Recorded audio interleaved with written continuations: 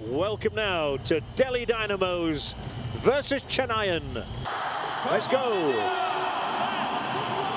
are indeed footballing here as the referee in pink tonight, Mr. Rohan. Still no John Arne Riise, you may have uh, noticed. Oh, a loss of the ball there. That is a dangerous thing to do. There are three forward here. The save made. The follow will not be saved. The Delhi Dynamos have hit the front. Richard Gadze sweeps the ball joyfully into the net. It breaks to Malouda. Malouda fires his shot in with his right foot.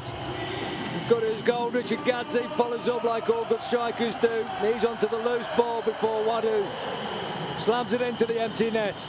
Chakraborty involved. Here's a good piece of play. There are three in white shirts around.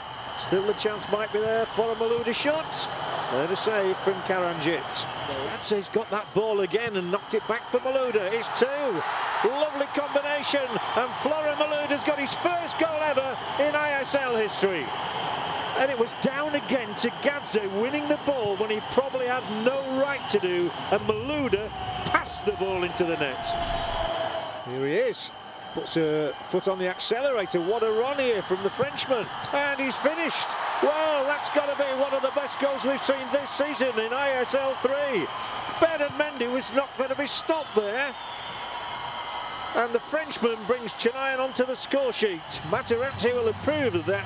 From the word go there, Bernard Mendy had one thing on his mind, find the net. Oh, oh my goodness, that was a lovely piece of skill. And he supplied the pass. And there might be something for Gadze yet. He's go, he can't get the shot through. This one goes and the keeper makes the save.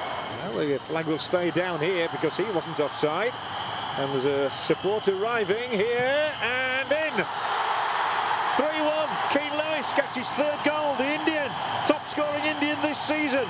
He's come from nowhere Keane Lewis, and smacked it wide of the goalkeeper. Precision finish, very similar to one of his previous goals.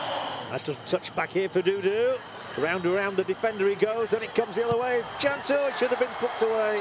Should have been tucked away by JJ.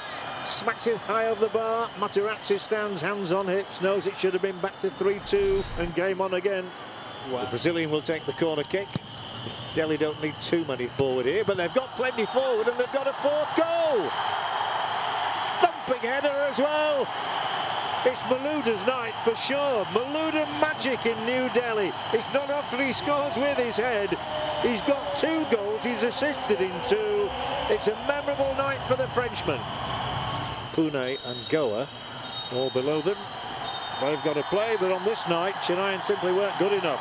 It's uh, victory as usual here for the Delhi Dynamo. The Italian pals Florent Malouda was the unquestionable hero of the match. He scored two, he laid on goals for Keane Lewis, and all that Chennaiyin could offer in response was a Bernard Mendy solo.